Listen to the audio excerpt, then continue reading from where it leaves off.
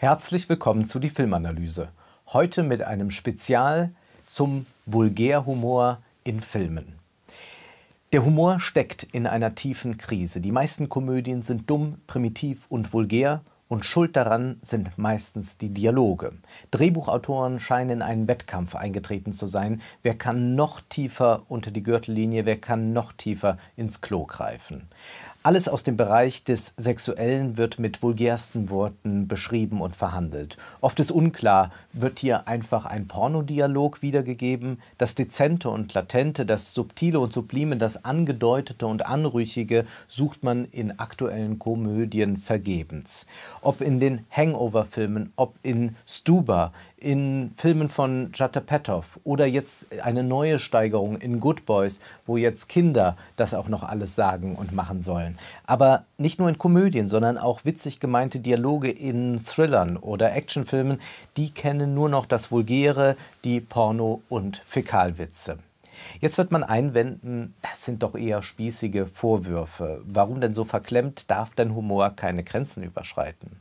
Doch das darf er und genau Deshalb sollten wir den Vulgärhumor kritisieren. Denn hier wird in Wahrheit gar keine Grenze überschritten. Dieser Humor ist weder mutig noch intelligent noch witzig. Wir müssen einen Schritt zurückgehen in das Jahr 1969. Damals ereignete sich das legendäre Busenattentat auf den Philosophen Theodor W. Adorno. Drei Studentinnen stürmten seine Vorlesung und entblößten sich vor ihm. Das Ganze hat einen Skandal ausgelöst. Adorno gab dann dem Spiegel ein Interview und sagte etwas sehr Interessantes. Gerade bei mir, der sich stets gegen jede Art erotischer Repression und gegen Sexualtabus gewandt hat, mich zu verhöhnen und drei als Hippies zurechtgemachte Mädchen auf mich loszuhetzen. Ich fand das widerlich. Der Heiterkeitseffekt, den man damit erzielt, war ja doch im Grunde die Reaktion des Spießbürgers, der hihi kichert, kichert, wenn er ein Mädchen mit nackten Brüsten sieht. Zitat Ende. Adorno natürlich immer sehr zugeknöpft war, aber sonst, was sein Geist, was sein Schaffen, sein Werk anbelangt, überhaupt nicht zugeknöpft. Und wir können fragen, ob nicht solche Aktionen, und Adorno tut das ja hier, nicht viel spießiger sind, als im Anzug über unspießige Dinge zu sprechen. Ist der Vulgärhumor nicht letztlich wie die drei äh, barbusigen Damen, die da auf Adorno losgerannt sind? Auch dieser Vulgärhumor kichert, hihi, da hat jemand Schwanz oder Muschi gesagt.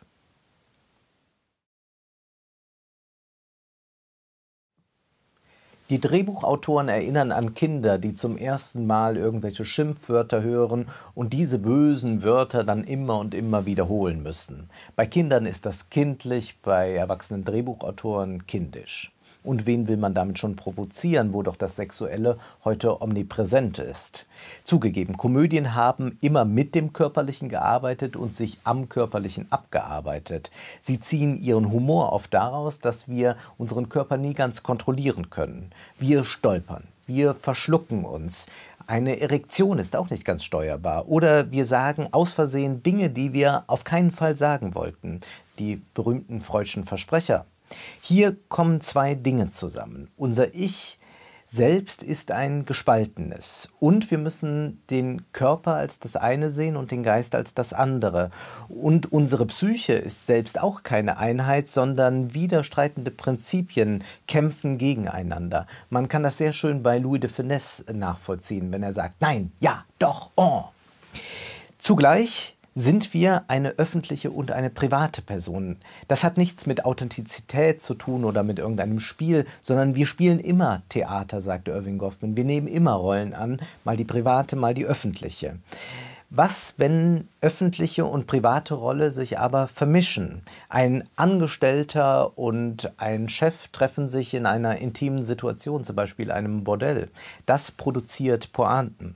Das Problem heute ist aber, dass sowohl die Trennung von Körper und Geist hinfällig wird, beziehungsweise es eine ganz starke Fixierung nur auf das Körperliche gibt, und wir eine Trennung zwischen der öffentlichen und der privaten Person auch immer seltener vorfinden.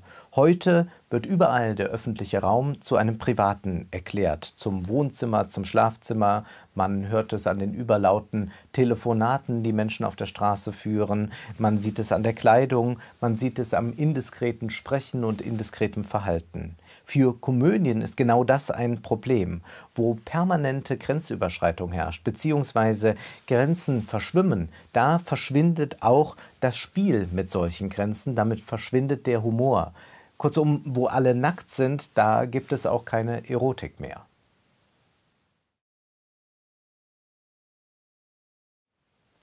Wir leben im Zeitalter der Indiskretion, aber Humor braucht Diskretion.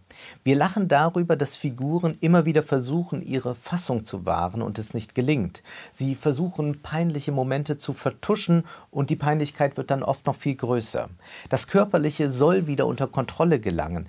Die großen Slapstick-Meister wie Charlie Chaplin, Louis de Finesse, Buster Keaton, Laurent Hardy, Jerry Lewis und Jim Carrey tragen interessanterweise meist Anzüge. Sie wollen die Form wahren, aber das misslingt ihnen immer wieder. Und genau das das ist komisch.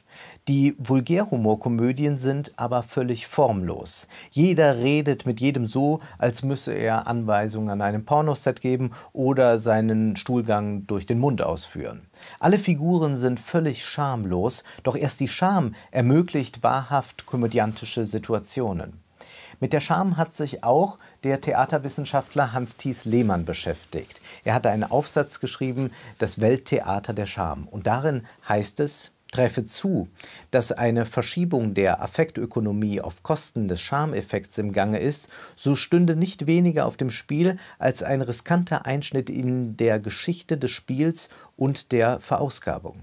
Denn Scham artikuliert das ganze Spiel von Verhüllung und Entbehrung, Entbergung, Verkleiden und Zeigen, Verrätselung und Offenbarung. Alles enthüllen, demonstrieren, mitteilen ist an den Prozess nicht so sehr der Zivilisation, sondern der Darstellung gebunden und die ist nicht ohne Verbergung, Aufschub und Entzug denkbar. Nicht ohne Maske, nicht ohne Scham.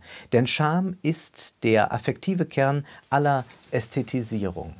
Und nicht zuletzt deshalb sind die Dialoge alle so furchtbar langweilig, so sehr sie sich auch bemühen, so schnell sie auch abgefeuert werden. Es fehlt ihnen die Ästhetisierung, es fehlt eben eben die Maskenhaftigkeit. Wo alles ausgesprochen wird, ist für Zwischentöne und Anzüglichkeiten kein Platz mehr. Die Vulgärdialoge sind mit den Fäkal- und Pornokaskaden nur pseudovirtuos. In Wahrheit jonglieren sie überhaupt nicht mit Sprache. Alles Spielerische wird hier für billige Affekte und Effekte erschlagen. Aber warum gibt es diese ungeheure Obsession für das Pornografische und Fäkale? Es liegt an dem schon angesprochenen Zusammenbruch dieser Trennung von öffentlichem und privaten, dass es diese Trennung nicht mehr gibt. Deshalb wird ja auch jede Bahnfahrt zur Tortur. Gesellschaft funktioniert nur durch Distanz, indem wir uns dem anderen nicht zu sehr zumuten, indem wir eine öffentliche Rolle annehmen. Nur so können wir den anderen ertragen, nur so kann er uns ertragen. Das ist der eine Punkt. Das andere aber ist diese unglaubliche Fixierung auf das Körperliche.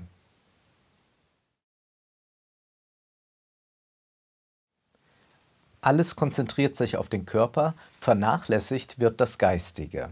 Wir können das bei Instagram, das ist ein sehr schönes Abbild der Gesellschaft, beobachten. Da sehen wir Bilder vom Essen und vom Sport machen, dann wieder vom Kochen und vom Essen und vom Sport machen. Es fehlt eigentlich nur noch das Ausscheiden. Konsequent wäre es, wenn die Influencer auch noch in die Kloschüssel fotografieren würden. Der Körper wird geheimnislos und wir können drei Trends ausmachen derzeit. Manche wollen ja zum Beispiel die Geschlechtsteile entmystifizieren. Man sagt, dieser Mythos, der damit verbunden ist, der würde die Sexualität nicht richtig befreien. Wir müssen jetzt also diese Organe entmystifizieren. Nun, dann bleiben eigentlich nur noch Ausscheidungsorgane übrig und dann ist Erotik und am Ende auch Sexualität fast unmöglich. Das andere ist der Porno. Hier haben wir eine Fixierung auf die Genitalien. Hier wird auch nichts verborgen. Hier wird mit Minikameras sogar noch in jede Körperöffnung reingefilmt. Und dann gibt es drittens den Krimiwahn, die Obduktion der Leichen, die immer ostentativer zur Schau gestellt wird. Wo das Geistige fehlt, ergötzt man sich daran, wie in Eingeweiden gewühlt wird. Und das kulminiert dann auch darin, dass man ein Buch wie Darm mit Charme zum Bestseller macht. Im Vulgärhumor kommen diese drei Trends zusammen. Manieren dürfen in Komödien dann nicht mehr stattfinden. Diese haben aber einst gute Komödien wie die von Ernst Lubitsch oder Billy Wilder ausgemacht. Und nochmal, das hat mit Spießertum nichts zu tun. Gerade diejenigen, die Manieren an den Tag legen, tun dies in dem Bewusstsein, dass der Mensch Abgründe hat, dass er manchmal sehr, sehr widerwärtig ist. Wer über das Sexuelle diskret und anspielungsreich spricht, ist nicht verklemmt. Er ist sich der ungeheuren Macht des Sexuellen nur sehr bewusst und möchte deshalb das Ganze nicht auf einen dumpfen Pornosprech reduzieren. Das explizite, vulgäre Sprechen ist nämlich selbstverschleiernd. Verschleiert wird, dass es immer auch etwas Unaussprechliches gibt zwischen den Menschen sowieso. Der Vulgärhumor verkauft uns die Botschaft nieder mit den Tabus. Aber genau da sollten wir immer fragen, wirklich, ist das so ganz tabulos? Und haben wir nicht heute eine Situation, wo es tatsächlich leichter ist, etwas Explizites auszusprechen, einen Schwanzpick via WhatsApp zu verschicken, als ich liebe dich zu sagen. Erst das verklausulierte Sprechen ermöglicht auch große Pointen. Das beste Beispiel ist der englische Film Pressed Off mit Pauken und Trompeten. Tara Fitzgerald und Evan McGregor stehen da vor der Haustür. Sie fragt ihn, kommst du noch mit auf einen Kaffee rauf? Seine Antwort, ich trinke keinen Kaffee und sie sagt, ich habe auch gar keinen da. Wir können uns ausmalen, wie dieser Dialog im Vulgärzeitalter heute ausfallen würde. Durch das Unausgesprochene erkennen wir das Eigentliche. Durch den Vulgärhumor jedoch schauen wir nur, aber sehen nicht.